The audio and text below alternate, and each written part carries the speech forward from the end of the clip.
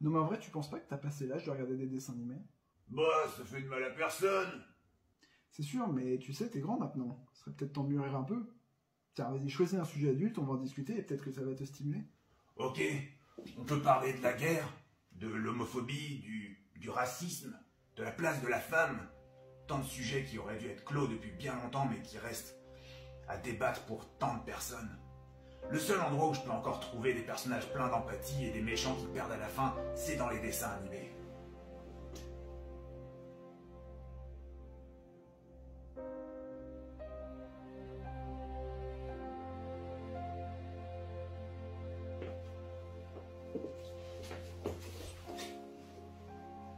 Et donc elle est partie de son île pour chercher un dieu, c'est ça?